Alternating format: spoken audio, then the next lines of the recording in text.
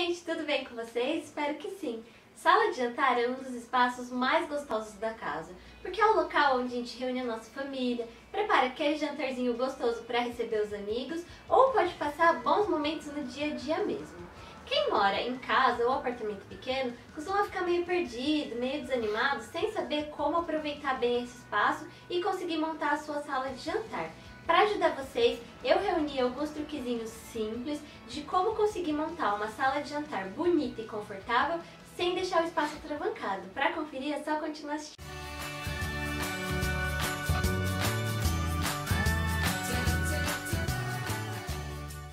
Um dos truques principais é ter um espelho, porque além dele refletir o espaço, ele também reflete a luz e dá a sensação de mais amplitude. Escolha uma mesa que seja compatível com o espaço que você tem disponível. Salas bem pequenininhas, acaba sendo necessário ter uma mesa redonda, daquelas para quatro pessoas. E uma possibilidade para usar a mesa retangular, sem ela ocupar tanto espaço, é deixar um dos lados da mesa encostado na parede.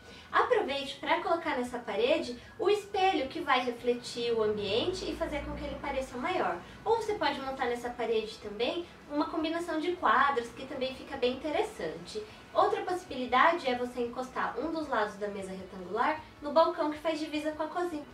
Ainda falando sobre mesas, procure utilizar aqueles modelos que têm um pé central. Elas ocupam menos espaço e, caso necessário, você consegue colocar mais cadeiras ao redor e acomodar mais pessoas.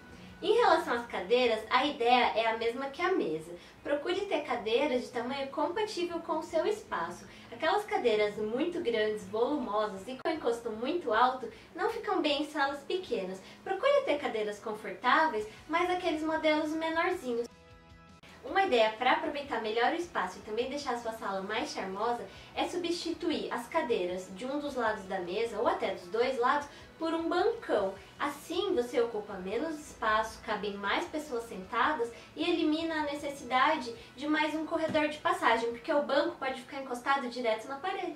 É isso aí, queridos. Essas são as minhas dicas de hoje. espero que vocês tenham gostado e que elas sejam úteis para vocês. Se vocês ficarem com alguma dúvida, deixa aqui nos comentários que eu respondo para vocês. Se você gostou desse vídeo, clica no like para me ajudar a divulgar. Compartilha com seus amigos, pode ser que eles também se interessem por essas dicas. E se inscreve aqui no canal para ser notificado e acompanhar os vídeos sempre em primeira mão. Beijo, até mais e tchau, tchau!